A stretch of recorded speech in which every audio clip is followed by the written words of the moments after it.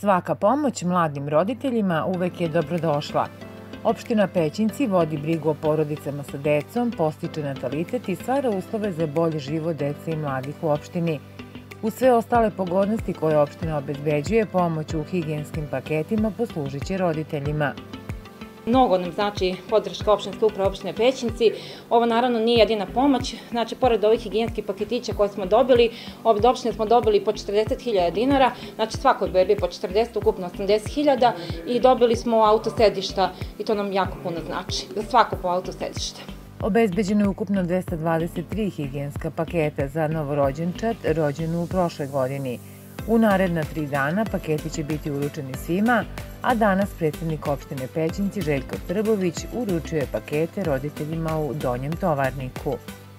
Nama je bitno da obiđemo svaku kuću i da razgovaramo sa roditeljima koji e, su nam eto, usrećili jel da i donijeli na sve tako male bebice. E, mi osim toga imamo i druge mere kao što su 40.000 dinara svakoj bebici, auto sedišta za svaku bebicu, to su neke posticajne mere koje naravno trebaju da dovedu do toga da se smanji, e, odnosno da kažemo da o belu kogu pobjedimo i mislim da ćemo mi uspjeti tome. I sam razgovor sa roditeljima ovdje jeste da ih nagovorimo da i svake godine e, koji, koji su sad bili da dobiju bebu, tako da bi ja bio srećan da na godinu više bebi paketića delimo nego ove godine. Evo, mi smo svedoci da ste danas lično došli u Donji Tovarnik i podelili paketiće, da ste razgovarali sa roditeljima, pa šta vam oni kažu, koliko im znači ova podrška?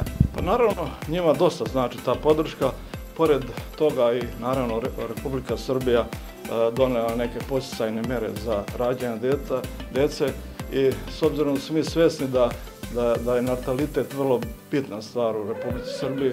Osim toga, dosta nam ljudi e, odlazi na rad van Republike Srbije. Mi se moramo boriti da što više ljudi ne nađemo ih zaposlenje što opština Pjećinci čini, vodimo računa što ja to kažem od, od rođenja pa do zaposlenja, tako da opština Pjećinci e, ima e, prioritete koje, koje će na tome da se što više beba, odnosno da ako najgorem slučaju da izravnamo na broj rođenih i broj umrlih. Nismo još dostigli taj nivo, ali ja mislim da hoćemo. Evo u ovome mjestu, baš donjem tovarniku, više beba se rodi nego što umre, što je dobro za našu opštinu, što je dobro za politiku koju vodi vlada Republike Srbije i naravno to je oni prepoznali, to smo svi prepoznali, mi ćemo se truditi da još što bude u naše financijske mogućnosti pomognemo mlade roditelje.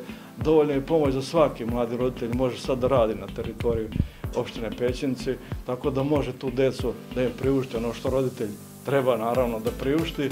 Čeka ih škola, obnavljamo škole, mi imamo naravno industrijsku zonu Šimanovcu, svako ko želi može da radi. Sve su to neki, ajde da kažem, posticajne mere da ljudi ostanu ovde u Srbiji, da mogu da E, da imaju potomstvo, da, da pruži ono što svaki roditelj želi. Tako da ono što sad opština može, mi to maksimalno daju, što je vrlo bitno, mi su doneli odluku da ćemo te sve posticajne mere i ove godine da, da damo tako. Ako sljedeći godina bude više mogućnosti, naravno, mi ćemo to učiniti, pratimo vladu Republike Srbije i oni su to prepoznali, naravno oni još više mogu i to je dobro i za Republiku Srbiju, a posebno je dobro za opštinu Pećince na, na kojem se jačava.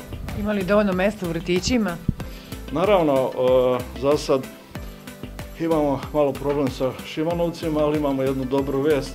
Ove godine bit će završen, e, završen vrtić, mi smo kamen temeljac postavili zahvaljujući pokrajinskoj vladi, tako da će ove godine izgraditi se u Šimanovcima vrtić tipa, odnosno kapaciteta oko 200 mjesta. Kad sad to završi, e, čak će moći neki koji rade u Šimanovcima, van Šimanovaca, da svoju bebu e, ostave i da mogu normalno da rade po završetku posla da ovaj, uzmu svoje, svoju bebicu. Inače, u svakom selu imamo odeljenje e, dečeg vrtića koje, koje je uređeno i koje, koje ima sve uslove da se deca, preškolci e, i svi dobro osjećaju, tako da o tome vodimo računa i završetkom e, vrtića u Šimonovcu mi ćemo potpunosti neke naše e, potrebe zatvoriti barem za narednih deseta godina.